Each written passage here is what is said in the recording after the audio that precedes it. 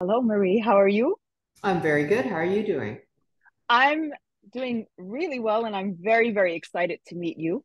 Um, finally, um, you? you. I'm uh, honestly very honored to have you as my guest. You are. Um, I mean, I I don't think anyone will argue with me if I say you're Canada's best criminal defense lawyer. So it's very nice to see you, and I'm even more proud of you because we come from the same background. We're both Middle Eastern, and Yeah, this is something that maybe I would like to start talking about. It's the culture and our background because uh, we do come from a very hot region, uh, Mm, politically speaking. A lot of debates. We all grow up in households where there's a lot of political debates in the family dinners and gatherings. And I think that it does have a profound impact on us and it shapes the way we think, our personalities, and our character. And you do actually talk about that a bit in your book. Uh, and I will say that your book, Nothing But the Truth, is actually a really good book. Uh, I enjoyed reading it, and I would like to hear a bit more about you, uh, from you, about uh, the culture and its impact on us, and even as lawyers. Sure. I mean, well, first of all, the, the culture is a, a very significant impact on me personally. Um, as an immigrant, it obviously um, affects very much of your feeling about your place in society and, and how you fit in to uh, a, a very different culture, particularly as a new immigrant when you are brought up with a culture that doesn't resonate um, Mhm. with North American culture. And so you sort of feel a bit conflicted.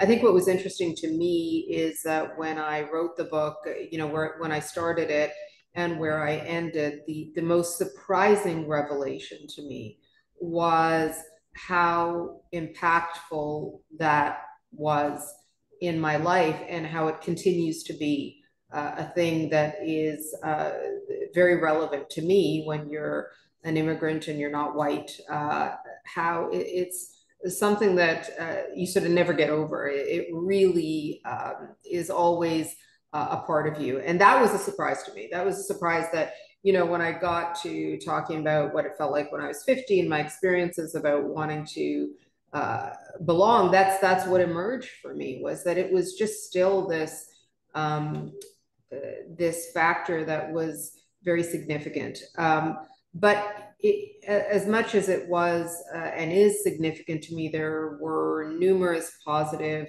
impacts. I mean, it formed me. Our culture, uh, you know, Mediterranean cultures, Middle Eastern Mhm. cultures are are very strong and and very uh, specific in their their approach, and so it impacted me very much. I I, I can't say any different. Um, you know, I I I grew up in an unusually matriarchal household uh, with very very strong women. I, I come from uh, a line of unusually strong women. You know, on my on my father's side, um, you know, a generation or two before in the Middle East, um, there were women that were supporting their families, which is unheard of uh, in in the Middle East at that time. So. I just come from an unusually matriarchal family, and that was obviously very significant to me. And then the other thing you talked about, which is, you know, in our culture, you, you can't have dinner without argument, Yeah, but argument doesn't mean you don't love each other or that it's personal. That's exactly. that's how we talk, right? And It's there's very, very different. It's very passionate of, as well. for sure, Yeah, a lot of passion. And so, you know, having an argument with somebody, a, a yeah, political argument, or yeah, about anything, uh, which is every conversation, by the way, doesn't mean you don't have affection for each other or that you will stop talking you then go and dance and you forget about it. Yeah. That's exactly right. And so, you know, that's also, I think, part of what you bring to the practice of law that, you know, you can have these very uh, strong disagreements and fights in court, but outside you can be friends with your colleagues. It, it's, Yeah. it doesn't reflect, it doesn't mean you don't like them or you don't respect them. Yeah. You know, this is over here. That's just how we have to communicate Yeah. And outside is is quite different. So, uh, you know, I think that that also has a bit of an impact in terms of what your approach is to to our practice. And also, I find because we're all constantly growing up in debates, so we right away we kind of like cross examination is also part of our culture. Like our parents are constantly cross Oh, examining yeah. us. You have to come up with creative true. ways to find answers and to escape, you know, answering Yeah, questions. it's true. So It's it's a true. good it's like a bar school, pre-bar. School. it is true. It is. It is very true. Prepares you definitely. Okay, but um, but speaking about because you did bring up uh, the uh, subject of uh, growing up in a very matriarchal household, so um, I mean, you you had strong females uh, in the family that probably were that shaped you. I mean, I know in your book you were talking about your mm-hmm. grandmother Teta, mm-hmm. uh, with whom you were very close. Um, but if we want to shift and get this into law now and the role of the female uh, criminal defense lawyer, because we are seeing more, obviously, there are more female defense lawyers now in practice. But I mean, it doesn't look like there is full equality or that they have the same advantages as their male counterparts. So, Marie, because you're a very successful criminal uh, defense lawyer, but you are also a female criminal defense lawyer. So, I wanted to hear, I'm really curious to hear what you have to say about the role of the criminal defense lawyer and what should women do to improve the situation of the female criminal defense lawyer. Well, I, you know, I, I think uh, sometimes the statistics are misleading. So we see that in law schools, for example, uh, 50% and sometimes more than 50% of the student body are female.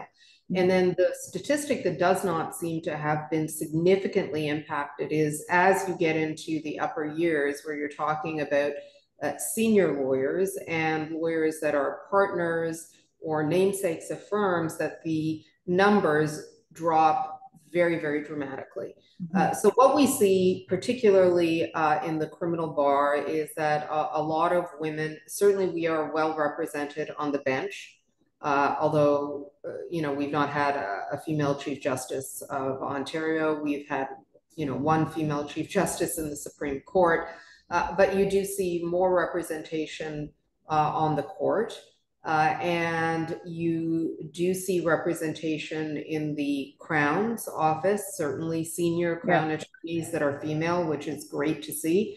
Uh, but you do not see senior uh, female defense lawyers. Mm-hmm. And there are a, a, couple of reasons I think for that. I, I, think about it a great deal, to be honest, because it's something that frustrates me um, extensively and, and something that uh, I think really needs to change. One is that in the practice of defense work, you run your own business. So it yeah. is as much as it is a practice, it is a profession, it's also a business. And that brings with it all sorts of challenges. Now, women are and can be profoundly successful business people, but there is that added pressure uh, of having to run your own business, which I think uh, can be challenging. But I, I don't think that's really the driver. I don't think that is why women leave the profession. Uh, I think what happens is that as you continue in this profession and as you stick in it, uh, you see that you know you, you, cracking certain types of work and uh, certain echelons become more and more and more difficult, and so it becomes disheartening when you can't see the promotion, when you can't see the the access, when you don't see the visibility of of senior women. And you know, everybody's happy to invite you into their club to a point, but they don't want to give up their seat. Mm-hmm. And in order for there to be equality and parity, you have to give up some of your, some of the seat, right. and that's when it becomes very uncomfortable. Uh, so I, I think I think women are are welcomed into the profession to a point. I, I think yeah. we're allowed to have a certain amount of success, but too much becomes a little unacceptable and and unpleasant and uh, not something that's that's willingly handed over. And I have to say, because it's important for us to know this, that when you look at women in the profession across the board, I'm talking about other areas of practice, because we women in the defense bar are not alone in this struggle you will see the same pattern repeating. If you are on a Bay Street firm, in a Bay Street firm, you will see that when you get up to the higher levels of, of practice, uh, women are pushed out, women struggle, women are not given the access that they need to have to um, develop a client base, which is critical to your success in, in those firms. And you see the same pattern repeating itself. And so uh, that is one of the fundamental problems. It's not as it's not that we're not ambitious or as ambitious, and certainly not as talented. We are as talented, if not more so. Uh, the problem is this really lack of the, this you know, we go back to the glass ceiling. There is a glass. But, but do you think that they are perceived as threats by males? That women in the profession are yeah. perceived as, I think. If we, they become very powerful or if they become. I think we are perceived as threats when we start competing for the same type of work. Yes. Okay. Uh, uh yeah. Particularly when it becomes more and more rarefied, more and more difficult to access. Uh, so, you know, is somebody going to care that we're doing a theft under? Probably not. Is somebody doing an assault? Probably, but keep going up the list. Yeah. And then you will see that, uh, you know, somebody looks at you and says, well, hold on a second. I, I would like that case or you're, you're cutting my grass. And that's, that's what I'm talking about is that the push in the profession, and uh, again, we should not just focus on criminal defense yeah. lawyers uh, because I want you to know, anybody who's watching this, that that women across the profession are feeling the same pressures we're feeling. Is that once it comes to getting those clients, you know, getting those big cases, getting getting a piece of the pie, uh, you see a lot of resistance, and then you see a lot of frustration, and a lot of women saying, "All right, well, you don't want me here. You're pushing me out because you're not, you don't like me playing on the same on the same uh, playing field. And so it becomes demoralizing and it becomes frustrating. And i can tell you that uh, i've been at this for over three decades.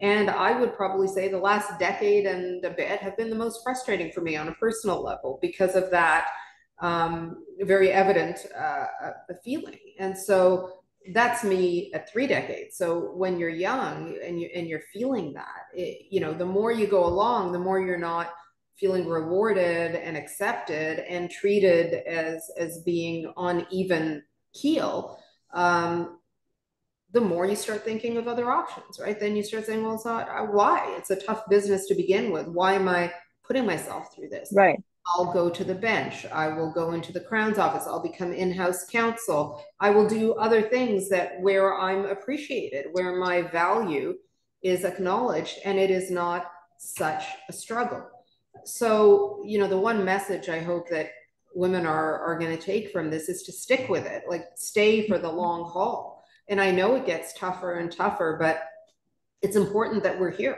it's important that we we get to the finish line yes have you had moments where you thought about other options marie uh no because i like going places i'm not supposed to go and it's my maybe my Middle Eastern confrontational personality. Yeah.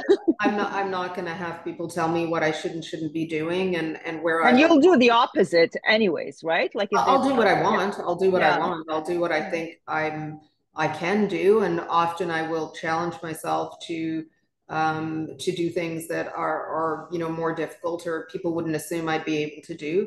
That just is something that interests me and and and drives me. But no, I'm not going to ever listen to where people think I belong in not in a million years. I, I just I have no interest in that. Okay, and uh, because you did say that, I mean, your advice to women is to just keep on doing it and not to basically give up, uh, even if you're getting resistance or you're feeling that resistance. Uh, but it is difficult though. Like i so what i'm interested in knowing is what do you do when you are because it's hard. It's psychological. It's a lot of uh, uh i mean it's it's a it's a challenge to keep on doing what you want to do and to uh, keep the noise away. But how do you ultimately cope with that well, I, you know, I, for me personally, there yeah. have been a couple of sources of that. You know, one source of uh, strength have been my female colleagues who are not necessarily criminal defense lawyers, but uh, again, uh, across the profession, uh, whether they're crown attorneys or other areas of practice that uh, experience similar things, and and that that um, support uh, network feeds my soul in the way that it needs to be, you know, fed, which is a lot of camaraderie and knowing that they have your back.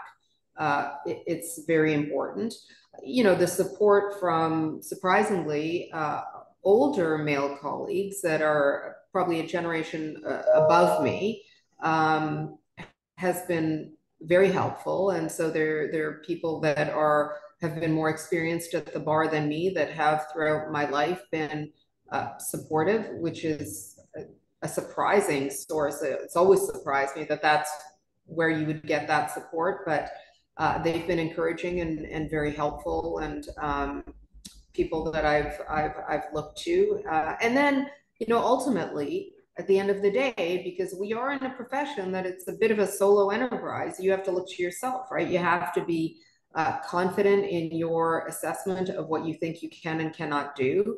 And as you said, to use your words, you do have to shut down the noise because as women, uh, in particular, uh, we are constantly told how we need to look, how we need to behave, how we need to to speak. All and and none of it is consistent, right? Everybody has a very different opinion about what's appropriate and what's not. And if you begin to listen to it, you just get confused, and and you're never going to meet those expectations. So you know, I, I, I think you have to also really, really uh, focus on on listening to yourself.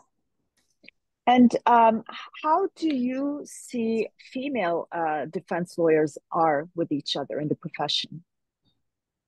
Supportive. Uh, I think female defense lawyers are supportive, and I, I think we um, have not historically been very good at business development. But there's been more of that recently. You know, there's refer to her and those sorts of things where there's a concerted effort to um, to interact also on a business level. And I think we're getting better at that. And I think we're focusing our energies. You know, I, I always say I'm so uh, sick of these work-life balance, con- you know, conferences. Give them to a to the men. Uh, they seem to know that they need it uh, to assist.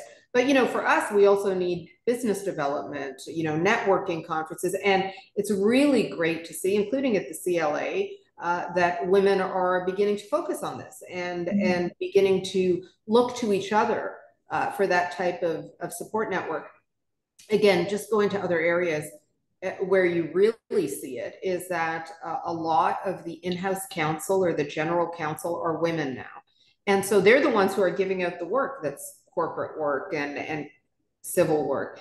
And a lot of the firms don't know what to do with that because all of a sudden you're not going to take the GC who happens to be female out to necessarily, I mean, some people like it, but you know, a hockey game for a beer, right? Or you're yeah. not going to go to a bar. You're not going to make your connections that way anymore. And so those places are struggling because all of a sudden the complexion of who's in charge, who's giving out the work is changing. So I think we're getting better at, at recognizing that we're in it, we're here, and that um, the networking piece is very important for us.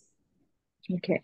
And uh, so we did talk about the role or the situation of female uh, criminal defense lawyers, but criminal uh, defense lawyers in general, I mean, whether it's males or females, there is a problem right now, whether it's the funding or whether it's uh, Crown's recruiting a lot of uh, um, defense lawyers. Um, the problem is maybe money uh, in many situations, but it's also the type of work, the difficulty, although it's very interesting. I find when uh, doing work from a defense perspective is a lot more interesting, I find, than doing crown work. And it's sad to see that a lot of people who start going into this profession, they have passion, but it goes away. And I just feel like there's a bit of a crisis in the criminal defense bar itself. Um, but what do you think can or is there anything that we can do or what are your thoughts about that the, the funding has always been a problem i mean this is yes. not not a new event it continues to be a problem and the difficulty is that when you're publicly funded when the choice is put money towards schools put money towards healthcare or put money towards people charged with crime to let them get their counsel you know that yeah. a politician is going to make the decision to put it towards school funding or or funding for health. It's very difficult to make this a publicly valuable uh, resource, and and people never know how important it is until they're criminally charged, until yeah. they're up against the government, and they all of a sudden realize the extraordinary, limitless resources that the government has compared to an individual, and so. I think that the public uh, doesn't really necessarily see this as a value but I don't blame them because we need to explain it. But the politicians certainly don't get any political capital. And the only way that you would ever increase that sort of funding, and it does happen, you know, sporadically, is to recognize that our justice system is very much a core component of our democracy. And, and when you look at the types of things that members of the public litigate in criminal cases and in, in other types of cases, it is so fundamental to the way we function every single day. I, I think if we put the value on the system uh, as being so integral to our democracy, uh, I think we might find a, a more um, an easier path to explaining why the funding of the defense bar is so critical because you need an independent defense bar just like you need a strong prosecution bar and no politician ever has difficulty saying we're resourcing the police more they don't have any problem doing that because it's a publicly explicable thing you can say well we're making your streets safer but trying to explain why you would resource defense lawyers more uh, why you would put more money into the court system is more challenging. And I think you need people with a great deal of integrity and respect for uh, our country to, to be willing to do that. So, you know, that's number one. Number two, and I think we're talking about it a little bit more, is our job is really tough emotionally and, and mentally for a lot of different reasons. But the stuff that we deal with, and when I say we, I mean the crown attorneys, the, the defense lawyers, police officers, it's really hard. It, it's not pleasant. Like we're not spending our day in a feel good environment. We're spending our day, you know, it's not like it is on TV. It's it's stressful. Um, it is awful. It, it the stuff we're looking at on a daily basis that you're consuming is very difficult um, to to deal with. It is not easy. And so that has a burden. And I think we're talking a little bit more about you know the, the stresses and strains on the the mental health of people who are in this profession but it it has a wearing effect it, it impacts you how, how can it not i mean we're human beings we're not again people watch tv and think oh everyone is so flippant and arrogant. It's not uh, you know you are seeing what's happening. You are reading what's happening. You're you're seeing all of it and it's difficult. And so a lot of people leave the profession because they're exhausted. It's it's a very emotionally exhausting um, profession to be in. Yes. And uh, if uh, just to finish on this point, though, for people who are getting into the profession, uh, because some people also they wonder if they want to get into criminal law exactly because of this point, because there are some cases pornography cases, uh, the trafficking cases, the human trafficking uh, or murders that some people don't have the stomach uh, to do. But I mean, it's part of being a criminal defense lawyer. But how? Uh, what advice would you give to uh, new lawyers who are maybe a little bit intimidated by these types of cases? Well, first of all, I, I, you know, I'm not of the view that you have to do all the cases if you don't feel comfortable mm-hmm. doing them. And the reason is because if you don't feel comfortable, you're not going to give your your most objective, neutral uh, professional service to a client. There's going to be something that is holding you back or interfering with your professional judgment, and that does not help the client. It's always yeah.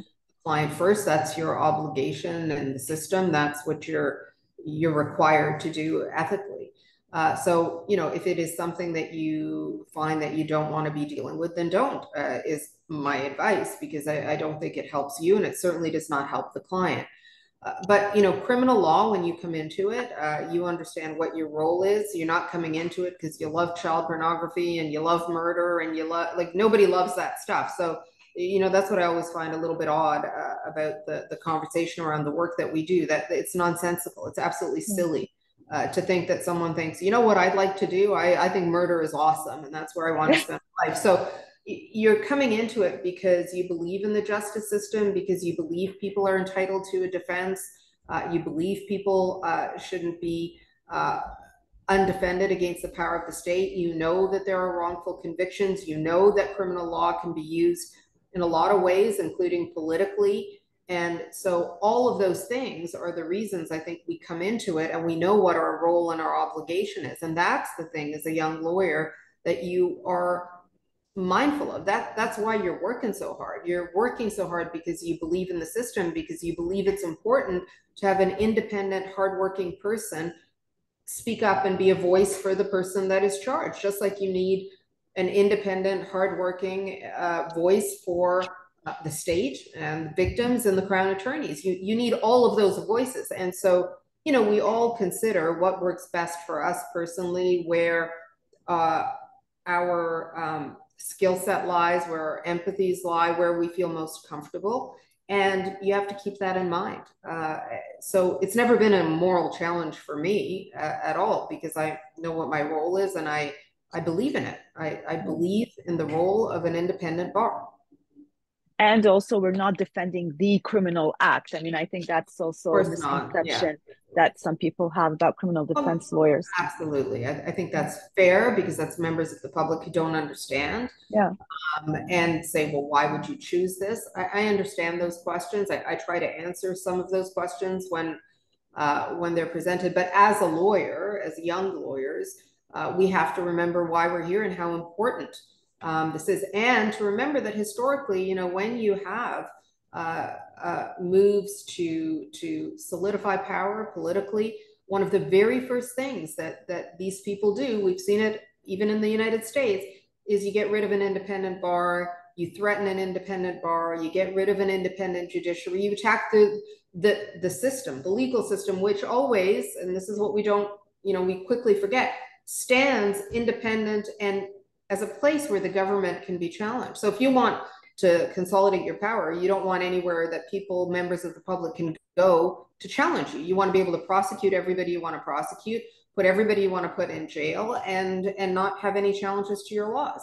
Yeah. That's not our system. So when we remember what we're here to do, um, it's not morally challenging, but I do agree. I mean, it's certainly emotionally exhausting for sure. It's a it's a tough job, and not for everybody.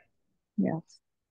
And uh, Marie, uh, because I am mindful of the time, and I promise you it will be in less than an hour, but I do want to go to something really important, and that's fashion, oh, because I know it's equally important. Sure. it's very important. Um, right. So I want to talk to you a little bit about that because I know you love fashion. So I'm going to first do. ask you, what is your favorite brand, though? Your, your oh my uh, gosh, I have so many. I mean, it depends yeah. on the day. It depends on the season. Yeah um, I, I I spend too much time looking at all of it. I, I love it all, to be honest. So I, I don't think there's. Well, like a few brands that you like, your go-to. There's got to be at least two. I love Dior. I, I think they, okay. some seasons really really lovely, and um, uh, probably that would be one of my favorites. And Valentino, I like very much. Okay. But you know, I also like other stuff. It's uh, a yeah. whole. But if we're talking about like the fantasy stuff, those are the brands that I love. okay yeah. but i mean fashion i know some people sometimes they make fun of it but it is important even for our role as a lawyer because you are the image and the voice of your client and you want to present your client in a good way right like i well I, yeah i mean i think you have to be professional i, I don't yes. think you have to be fashionable yeah. but you be professional i mean the fashion part is just for your own entertainment certainly for mine but you know I, as you know um, first of all as Middle Eastern part of your culture, yeah. are always dressed up, right? Like you yeah. have to be properly dressed everywhere you yeah. go. So since you're little, you know you have to properly dress yourself. Like it's a big deal in our culture, very big deal. And you add to that, you know, that my grandmother was a seamstress. My mother was completely fashion obsessed. My uncle Sammy was completely obsessed with fashion. I mean, we owned a store, we owned a clothing fashion store when mm-hmm. I was mm-hmm. growing up. I used to work in it when I was uh, quite young. Uh, so it, you know, I do come by it honestly. It's a, it's a, it's a, it's a, it's a family trait.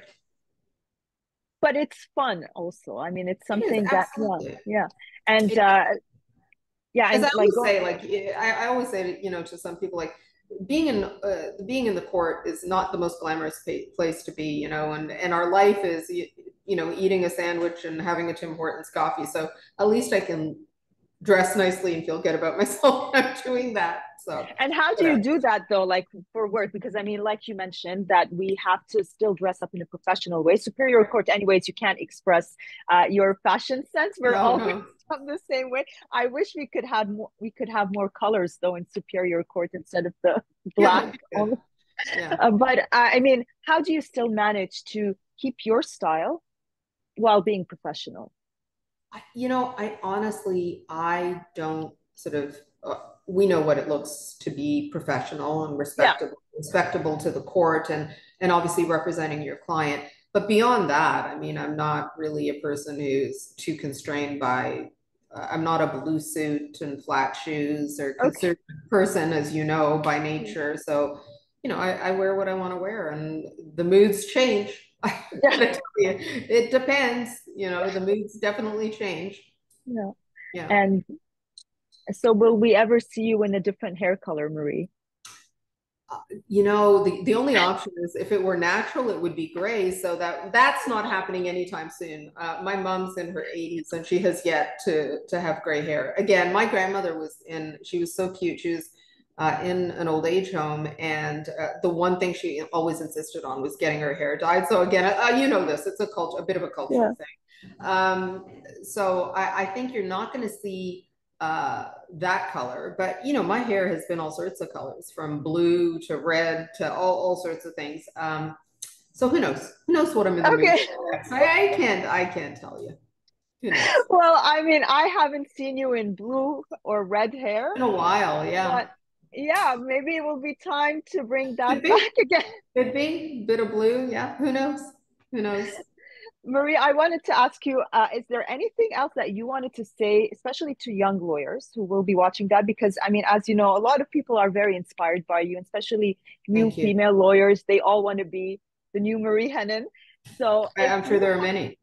Yeah, no, there are. And so, I mean, if you have any advice for these uh, new female defense lawyers, especially if we don't want them to get discouraged by all the things that we talked about today. Yeah, I, I, you know, uh, my advice for female defense lawyers, male defense lawyers, young lawyers coming into this profession uh, is to focus on always on why you're here, why you're doing this, because uh, when you're you're working the hours that we work, the long hours, and and you're dealing with all the struggles and the failures in court and and all of the challenges, you have to bring yourself back to a couple of things. Why you're there why you you value it so much why you love it so much. Because I, I always say to people if you do not love love criminal law yeah. there's very little to to recommend it. The lifestyle is lousy. The the pay rarely meets what you would get on bay street. And so uh, you've got to love it. It's got to be so meaningful to you. And then the second thing is that i would say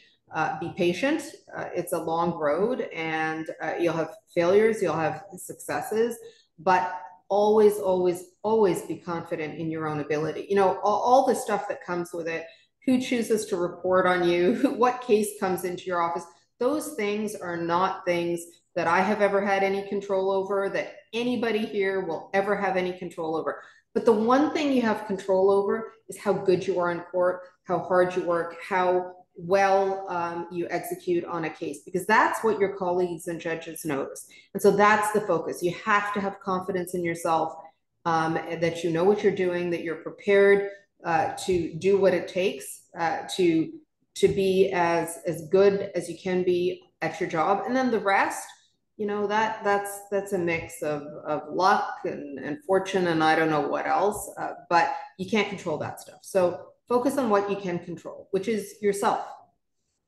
But okay, uh, I I kind of lied. One last question that I sure. have though, uh, because you did mention that there are some failures in this. I mean, it's bound to happen. You're not going to win every case, although maybe in sure. your case you've been winning no, uh, almost no. everything.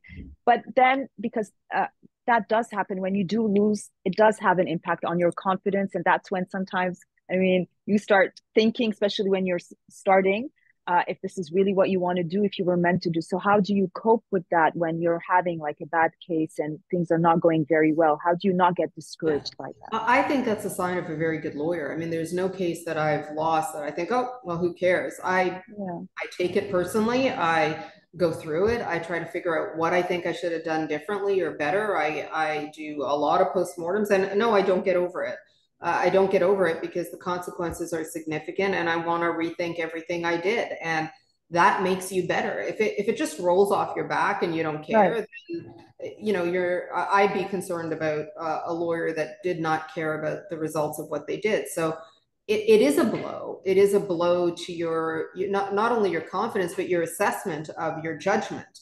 And you have to rethink it and you have to then go back and you go back at it and you and you learn and you try to make yourself better every single time and you continue to do that unfortunately for the rest of your life every single time you think well i, I should have done this better or i could have done it a bit differently and to this day, uh, you know, if we uh, are unsuccessful, we have post-mortem meetings where there's a discussion and a consideration of what could I have done differently? What should I have, uh, how should I have approached it? Did we make the right call? You need to do that uh, because what we do matters. It matters more to the person who is uh, your client than it does to your ego, right? So you can get over your ego, but you do have to uh, to consider why you got that result and whether you could have done something differently. So I, I think that's just part of our job is to uh, to take that in and to learn from it.